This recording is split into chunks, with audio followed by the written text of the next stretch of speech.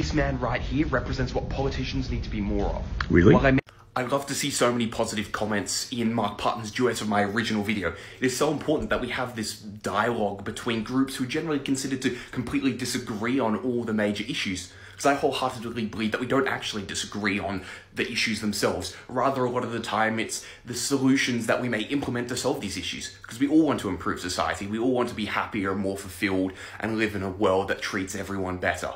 However, sometimes there might be those slight disagreements on which levers to pull, but it doesn't mean that it should create a hate between us. Rather, an opportunity to understand each other's experiences, perspectives, and how that's made us the people that we are today.